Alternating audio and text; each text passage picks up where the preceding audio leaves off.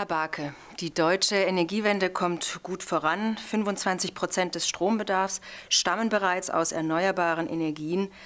Doch wie sind die kommenden 25 Prozent schnell und effizient zu schaffen? Die Produktion der entsprechenden Strommengen aus erneuerbaren Energien macht mir die geringsten Sorgen. Die ersten 25 Prozent Erneuerbare hat das alte Stromsystem noch gut integrieren können. Das wird bei den nächsten 25 Prozent nicht möglich sein. 50 Prozent erneuerbare Energien im Jahresdurchschnitt heißt, wir werden viele Stunden haben, wo wir mehr als 100 Prozent erneuerbare Energien in den Netzen haben werden. Es wird andere Zeiten geben mit wesentlich weniger.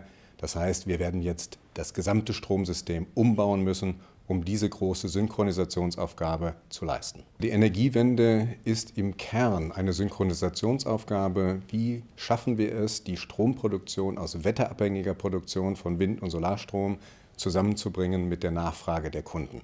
Dafür brauchen wir Flexibilität.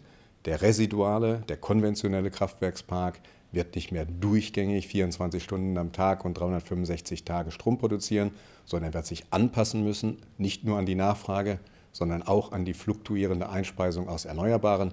Wir werden Netze brauchen, weil je größer wir das Gebiet verbinden, umso eher werden sich diese fluktuierenden Einspeisungen gegenseitig ausgleichen. Wir werden das Lastmanagement betreiben müssen, das heißt Nachfrage muss flexibler werden.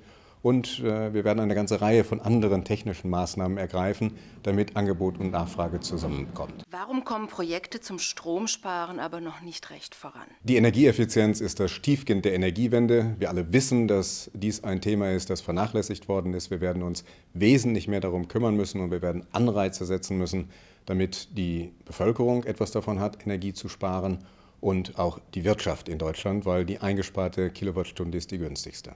Sie sprechen das auch in den Agora-Thesen zur Energiewende an. Was könnten die Treiber für eine europäische Energiewende werden? Punkt 1, der Klimaschutz. Wir werden 80 bis 95 Prozent Reduktion unserer Klimagase bis 2050 nur schaffen, wenn wir umsteigen auf erneuerbare Energien. Zweitens, es ist, glaube ich, eine wunderbare Vision, wenn wir uns unabhängig machen vom Import fossiler und anderer äh, nuklearer Energieträger und äh, die äh, Perspektive entwickeln, ein modernes und zwar zukunftsfähiges Stromversorgungssystem zu haben, aufgrund von Energiequellen, die wir reichlich zur Verfügung haben. Im Wesentlichen werden das Wind und Photovoltaik sein.